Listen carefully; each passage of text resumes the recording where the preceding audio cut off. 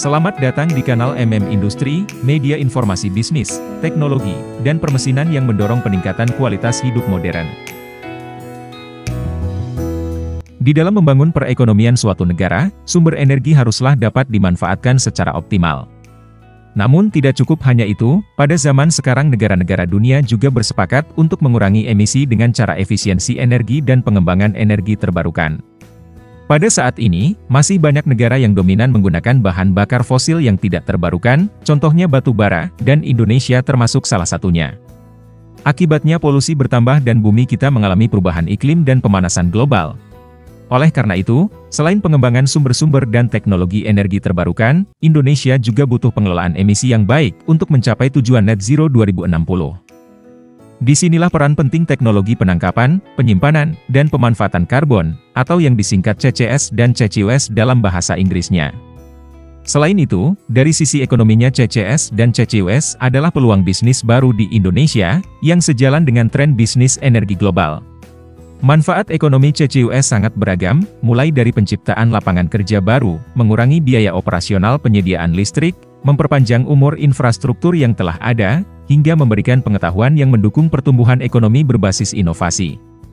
Ada banyak sumber industri penangkapan dan pemanfaatan CO2, contohnya pembangkit listrik tenaga batu bara, pengolahan gas alam, kilang minyak bumi, dan berbagai pabrik kimia. Di Indonesia, studi kelayakan CCUS lainnya sedang dikerjakan di lokasi-lokasi potensial seperti di Pulau Jawa, Sumatera, dan Kalimantan. Pada saat ini, Indonesia sedang memfokuskan perkembangan teknologi CCS dan CCUS, seperti yang dikatakan Menteri Koordinator Bidang Kemaritiman dan Investasi, Luhut Binsar Panjaitan, pada September 2023 kepada awak media. Luhut menambahkan bahwa Indonesia memiliki potensi penyimpanan karbon hingga 400 gigaton CO2, itulah peluang bisnis dan investasi yang akan berkembang dalam negeri, tandasnya. Nantinya, Indonesia dapat berperan utama dalam investasi teknologi CCS dan CCUS di Asia.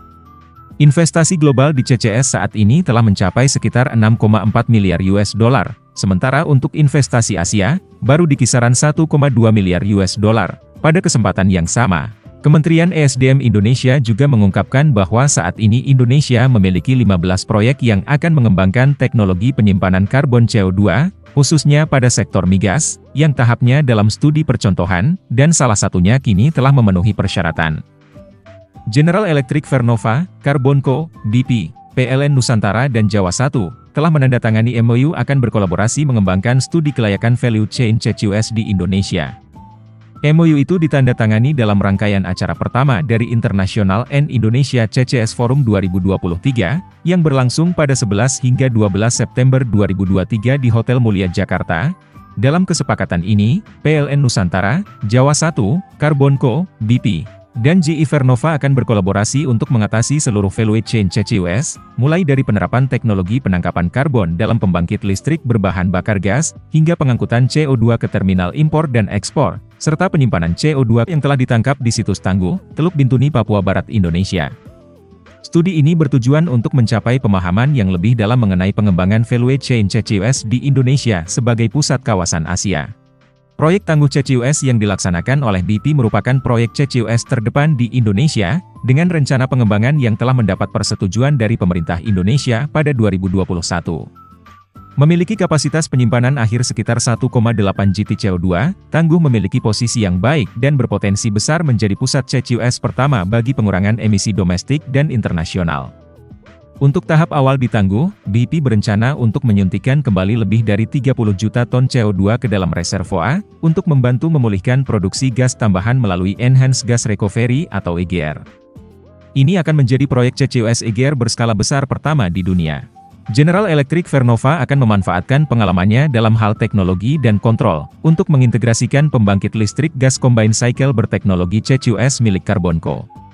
Dengan keahlian yang telah terbukti dalam rekayasa pembangkit listrik gas combined cycle, kemampuan operasional, dan integrasi pabrik penangkapan karbon, GE akan memimpin integrasi ini dengan tujuan memastikan kemampuan pembangkit listrik dalam menyediakan jumlah energi listrik sesuai dengan yang dibutuhkan, dengan intensitas karbon yang lebih rendah, fleksibilitas dan keandalan tinggi, serta biaya yang lebih rendah, Carbonco akan memanfaatkan kemampuan teknologi dan pengalamannya selama lebih dari 20 tahun dalam CCUS-nya untuk melaksanakan berbagai proyek dekarbonisasi global. Selain itu, Carbonco telah berhasil menyelesaikan FIT, Front-End Engineering Design, dan perancangan rekayasa terperinci untuk penangkapan karbon berskala 3000 ton per hari. Carbonco akan memanfaatkan keunggulannya dalam standarisasi dan modularisasi pada studi gabungan ini, untuk memastikan standar kualitas dan mengurangi resiko ketidakpastian. PT Pertamina Persero telah mengimplementasikan teknologi CCS dan CCUS sejak 2022. Teknologi CCUS adalah bukti Pertamina dalam mewujudkan transisi energi melalui dekarbonisasi. CCUS menjadi enabler yang mampu meningkatkan produksi migas melalui CO2-IOR, sekaligus mengurangi emisi gas rumah kaca secara signifikan. Selain menjadi pendorong produktivitas bisnis yang hijau, teknologi CCUS juga memiliki sisi nilai tambah. Pasalnya, emisi gas metana dan emisi gas CO2 yang berasal dari produksi migas dapat ditangkap dan dijadikan sebagai bisnis. Caranya yakni dengan utilisasi emisi gas tersebut untuk memproduksi sesuatu. Sebagai contoh, Pertamina saat ini sedang membuat rencana demonstrasi dari emisi yang tidak berharga menjadi sesuatu yang bisa dijual, yaitu Precipitated Calcium Carbonate atau PCC, yang berguna sebagai bahan baku cat dan kertas. Masih ada lagi inovasi lainnya, misalnya menjadi alkohol, polimer, dan seterusnya. PT Pertamina Persero telah berhasil melakukan injeksi emisi CO2 pertama di ASEAN.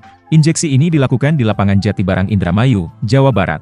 Dalam proses itu, Pertamina berhasil menginjeksi CO2 untuk meningkatkan produksi minyak bumi. Jika ada emisi khususnya CO2 yang tidak mungkin digunakan, maka Pertamina akan melakukan penyimpanan melalui beberapa pendekatan, misalnya dengan menginjeksi emisi tersebut ke dalam sumur-sumur minyak bumi yang sudah tua.